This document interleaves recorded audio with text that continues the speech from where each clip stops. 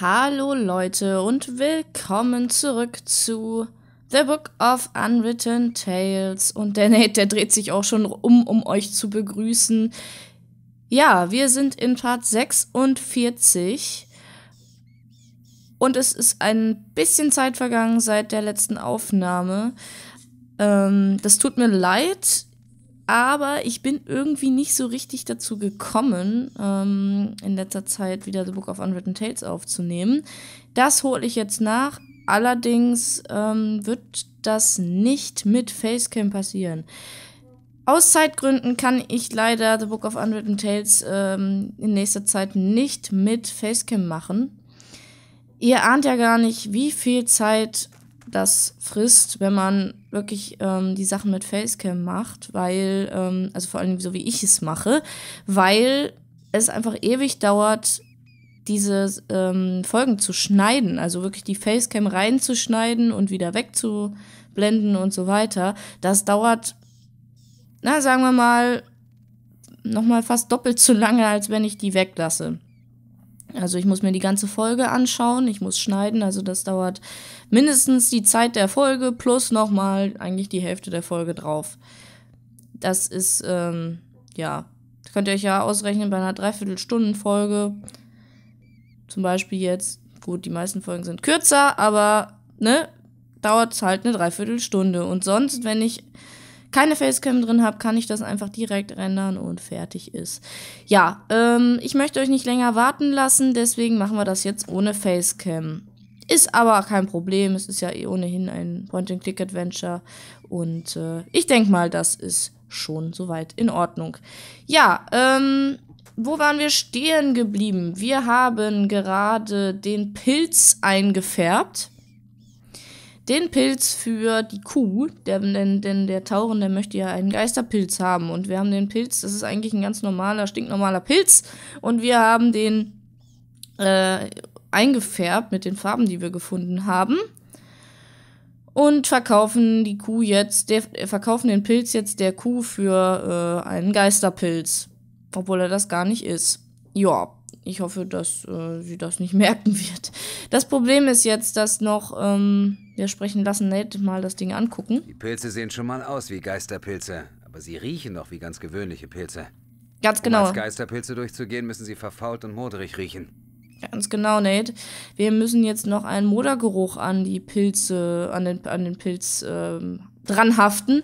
Und dafür gehen wir jetzt einfach mal nach oben.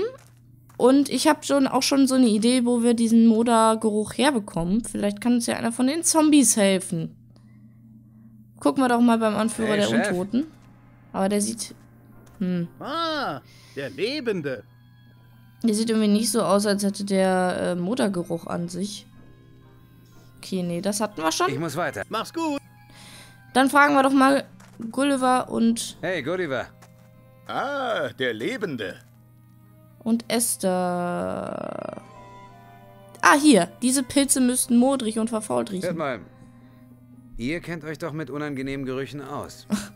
Na klar. Habt ihr eine Idee, wie ich diese Pilze modrig und faul stinken lassen kann? Ah, nein. Oh Riech Gott. Jetzt mal. Das wird reichen, danke. Gern geschehen. Oh, okay.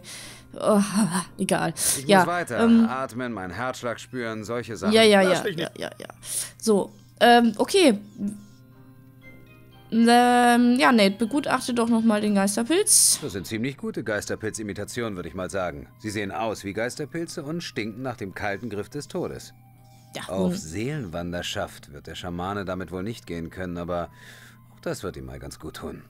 Ja, genau. Vielleicht gar nicht so schlecht, dass er mal äh, mit dem Pilze essen, mit dem Mush Magic Mushrooms essen ein bisschen aussetzt. Okay, dann gehen wir doch mal direkt hin und geben ihm mal den Pilz. Hier, mein Guter.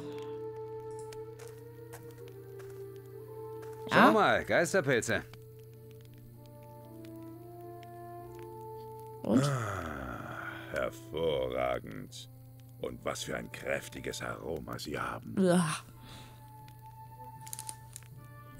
Ja, und? Rauchende Büffel soll man nicht stören. Ja, wie? Rauchende Büffel. Was soll das denn heißen? Ich dachte, er hilft uns jetzt. Och, nö. Och. Ja, wahrscheinlich müssen wir ihn konkret auf irgendwas ansprechen. Wenn wir jetzt nochmal hingehen, ist er dann fertig mit Rauchen? Rauchende Büffel. Nee. Okay. Ja gut, dann müssen wir erstmal woanders weitermachen. Ähm. Was ist das hier eigentlich? Das ist mir, fällt mir jetzt zum ersten Mal auf. Das ist irgendwie so eine äh, Antenne oder sowas. Was, also zumindest sieht da ein Kabel rein. Gucken die Fernsehen in der Gruft oder? Okay. Ähm, ja, was machen wir jetzt? Wir müssen jetzt immer noch an die restlichen Kriegerset-Teile kommen. Beziehungsweise wir haben noch kein einziges, ne? Fällt mir gerade so auf. Ähm, ja, wie wär's denn? Ich gehe jetzt nochmal zu den Ogern. Weil irgendwie habe ich das Gefühl, wir haben da noch nicht alles fertig. Sprechen einfach nochmal mit denen. Weil irgendwie müssen wir ja an die Sachen von denen kommen. Hier, der hat doch. Wir, wir sprechen einfach mal. Gucken nochmal den Teller an. Das Schild ist mit allerlei unappetitlicher Ogernahrung garniert. Den Oger ist wohl gar nicht klar, was sie da für einen wertvollen Schild zweckentfremden. Mhm. Okay. Irgendwie muss ich die Oger ablenken und das Essen loswerden. Der Schild ist mit all Okay. Wir sprechen nochmal mit dem Hungrigen. Hallo, Grump. Du, Menschlein. Ganz recht. Okay. Wir gucken nochmal, wir sprechen ihn nochmal auf den Teller an. Du musst großen Hunger haben, Grump. Es ist ein sehr, sehr großer Teller, den du da hast. Grump, großen Hunger. Warum bittest du Zloff nicht noch einmal freundlich darum, dass du deinen Teller leer essen darfst? Zloff nicht erlauben. Und Zloff kann Kettenblitze. Er kann sich wehren, meinst du? Hm. Und solange er das Buch liest, darfst du eure Hände nicht benutzen? Hm. Hm. Okay. Du bist doch ein cleveres Kerlchen, Grump. Grump? Ähm, kann man Sloth nicht dazu bringen, mit dem Lesen aufzuhören? Sloth immer nur lesen, bis Buch zu Ende. Und nichts hält ihn vom Lesen ab? Hm. Sloth gerne Cocktails trinken. Uga-Cocktails. Mm. Okay. Und dann? Er ganz schnell betrunken. Du meinst, er verträgt keinen Alkohol und ist dann zu betrunken, um weiterzulesen? Hm, interessant. Hm. Wirst du auch schnell betrunken, Grump? So wie Zloff? Nein. Grump kann viel mehr trinken als Witzloff. Grump echter Kerl. Ja. Aber ihr teilt euch doch einen Körper. Ja und? Och, nichts. Vielleicht haben die zwei Mägen. Ach, Nate, du hast doch keine Ahnung von Oger-Anatomie. Ähm. Okay. Ja, gut. Ähm, okay, was heißt, äh, hä? Ja, wobei, die müssten dann natürlich auch zwei. Ja, gut. Ja, wenn solange sie zwei Gehirne haben. Irgendwie finde ich das ganz logisch, dass einer mehr verträgt als der andere. Naja, egal. Ähm, ähm okay, was hältst du? Ja, ein Oger-Cocktail. Finde ich eine gute Idee, Nate. Ich könnte euch einen Oger-Cocktail machen. Was hältst du davon? Grump mag Bier. Ja schon, aber der Cocktail ist ja vor allem für Zloff. Warum? Damit er betrunken wird. Und dann? Dann kannst du deinen Snack dort wegputzen. Oh, okay. Oh Mann. Ja, dass Grump ein bisschen einfältig ist, äh, dürftet ihr ja auch schon bemerkt haben. Ähm, okay, fragen wir doch mal. Also, was gehört alles in einen guten Oger-Cocktail? Alkohol, Alkohol, okay. Und sonst? Ein Schirmchen Ein Oger-Cocktail besteht einfach aus Alkohol? und Schirmchen. Und was für Alkohol? Wein, Schnaps? Egal, musst dich nicht drehen. Also hochprozentiger Alkohol in einem Glas mit Schirmchen. Raffiniert. Menschlein kann in Höhle suchen. Oh, Dir da die Zutaten? Hm. Ja, das ist so geil. Hört sich irgendwie so ein bisschen nach dem Tiefseetaucher an, den der Leiti und ich in Göttingen getrunken haben. Das ist auch eigentlich nur hochprozentiger Alkohol. Oh Mann, ey. Ja, ja, ja. Nein. Ähm, ich würde mal sagen, wir haben jetzt die Erlaubnis, hier in der Höhle zu gucken. Und da das Schirmchen ich muss los, ja. mein Magen knurrt. Hunger. Ja, auch Gramp. Gramp tut mir irgendwie leid. Äh, ja, wir haben ja jetzt die Erlaubnis, hier nachzugucken und da ein Schirmchen offensichtlich extrem wichtig ist für das, äh, für den Geschmack dieses Cocktails, werden wir doch mal gucken. Da ist ein Schrank. Junger Herr, das sind unsere privaten Habseligkeiten. Alle Geräte sind angemeldet. Bitte verlassen Sie unsere Höhle. Grump hat es mir erlaubt. Menschlein machen Cocktail für Sloth. Tatsächlich? Oh, Was für eine entzückende Überraschung. Ich danke euch recht herzlich. Kein Problem, Dicker. Damit meint er dich? ja, natürlich. Ähm, ja, äh, gut. Dann haben wir jetzt wirklich die Erlaubnis. Sehr schön. Das scheint so eine Art Vorratsschrank zu sein. Ja, Schränke sind zum Reingucken da. Müsstest du doch wissen, Nate. Ein kleines, buntes Cocktailschirmchen. Oh, super. Wer hätte gedacht, dass es für so etwas in den wilden Landen einen Markt gibt? Ein kleines... Okay. Da sagt er das Gleiche zu. Was haben wir denn hier noch? Können wir uns denn jetzt generell hier umgucken? Ich hätte ein größeres Cocktailglas erwartet. Dieses hier hat menschliche Größe. Ob das reicht, um Sloth betrunken zu machen? Klar. Wenn der nicht viel verträgt. Ist ja purer Alkohol da drin, ne? Und wahrscheinlich haben die auch noch mal stärkeren Alkohol, so als wir, äh. Naja. Na, wobei, Alkohol ist Alkohol. Naja, äh, ich versuche hier mal nicht zu fachsimpeln. Ich habe sowieso keine Ahnung. So, betrachte den Sack. Ein zugebundener Leinensack. Vermutlich soll der Inhalt vor Vögeln und Ratten geschützt werden. Ja, was ist denn drin? Nate, guck doch mal rein. Ha? Hm? Ha? Was ist da drin? Der Sack ist bis oben mit Äpfeln gefüllt. Hm. Boah. Sie sind alle feucht und angefault. Sie riechen schon vergoren. Sehr gut. Sehr, sehr gut. Daraus können wir doch Alkohol machen. Dann haben wir Apfelschnapsel. Apfel, Apfelschnappes. Apfelschnapsel. genau. Äh, ja, sehr schön. Okay, alles klar. Äh, haben wir noch irgendwas? Der Schlauch. Wofür auch immer wir den brauchen. Ein Schlauchstück. Über einen Meter lang und alles andere als sauber. Ich möchte mir lieber nicht vorstellen, wofür die Oger es verwenden. Darmspiegelung? Keine Ahnung. Ah, Och nö. Matta, du und deine Fantasie. Ah, okay, nimm das Schlauchstück bitte, Nate, bevor ich hier noch. Äh, nee, äh, bah.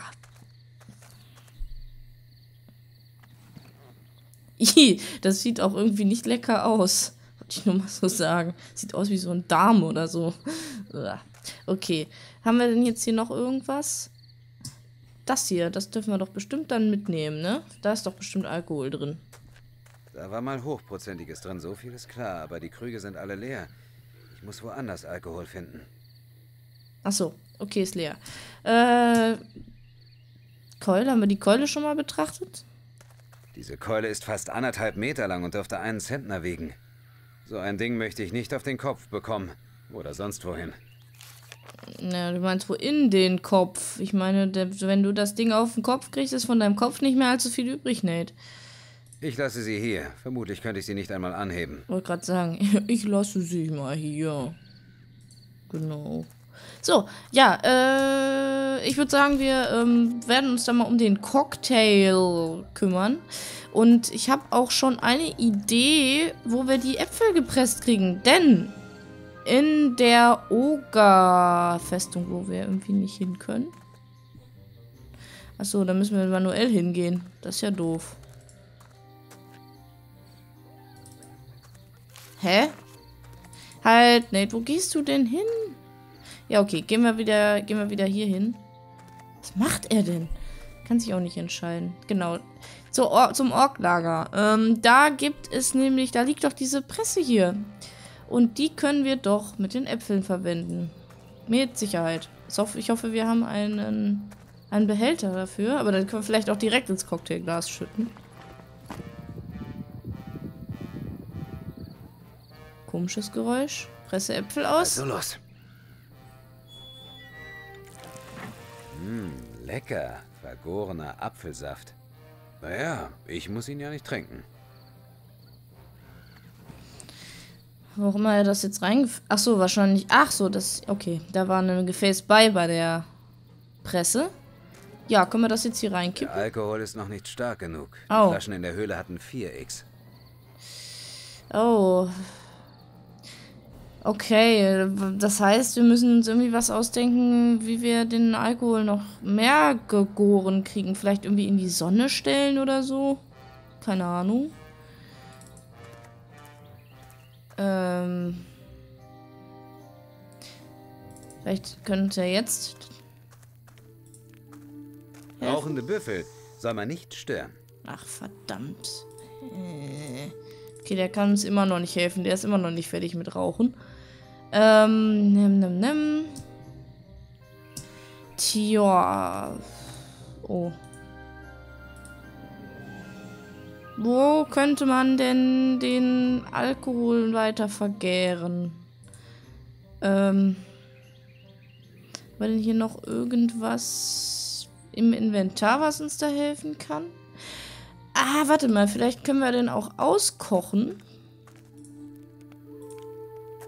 Wenn ich den Saft in den heißen Topf kippe, würde einfach alles verdampfen und ich wäre meinen Saft los. Hm. Okay, sehe ich ein. Sehe ich ein. Nicht. Ähm. Ja, aber hier oben ist doch so ein Deckel drauf. Machen wir den mal wieder zuerst, oder was? Ah, wir müssen bestimmt eine Destillationsanlage bauen. Sitzt stramm. Was immer im Topf verdampft, kondensiert im Schlauch und wird durch ihn abgeleitet. Wunderbärchen, ja super. Oh nein, jetzt sage ich das auch schon. Ach, ja, okay. Na gut. Oh, super. Ah, da kommt was. Und fertig. Die Schüssel ist mit einer fast klaren Flüssigkeit gefüllt. Für einen Oger-Cocktail dürfte der Alkohol noch nicht konzentriert genug sein. Aber ich kann ihn ja noch einmal destillieren. Mhm. Ja, dann los. Mach nochmal. Und nochmal. Dankeschön, dass wir nicht das noch... Das sieht schon etwas besser aus. Dass wir nicht noch irgendwas anderes machen müssen. Können wir nochmal?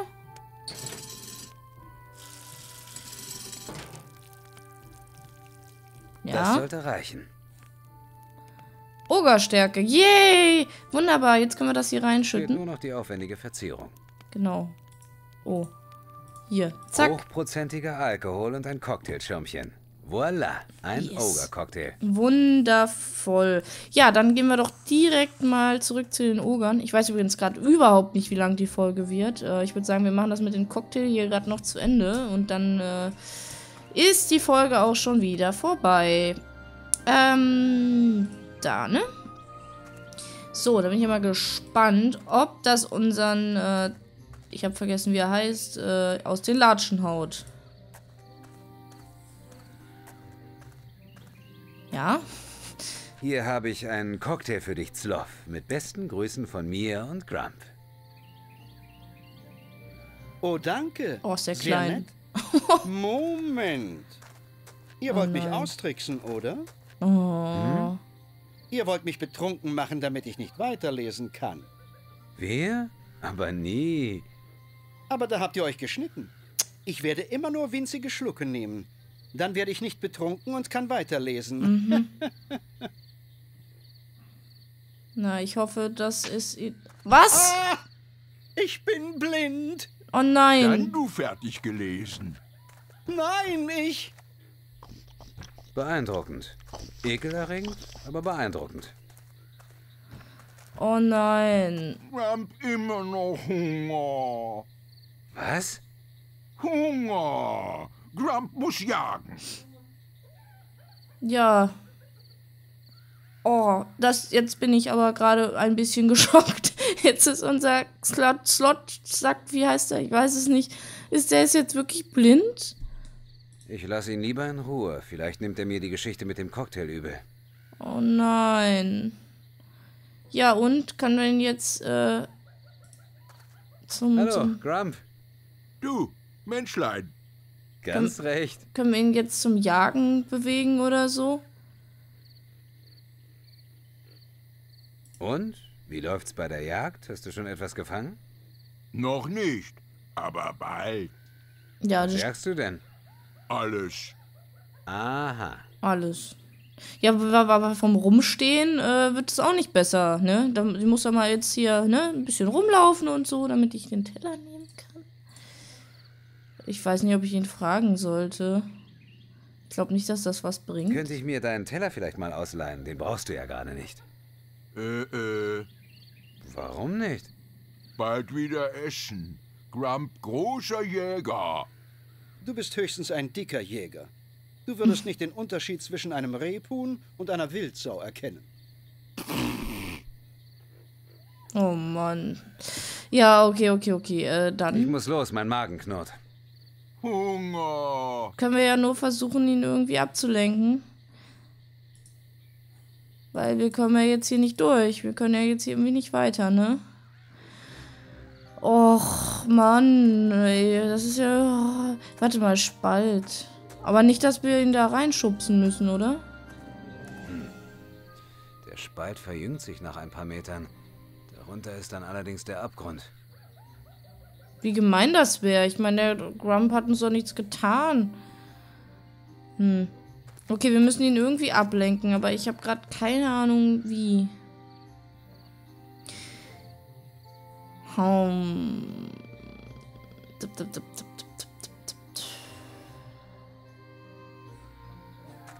Ha!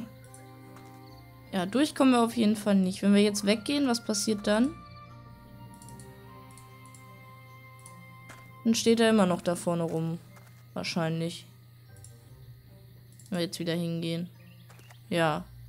Schade. Ja, nee, wir müssen ihn irgendwie äh, von hier weglocken.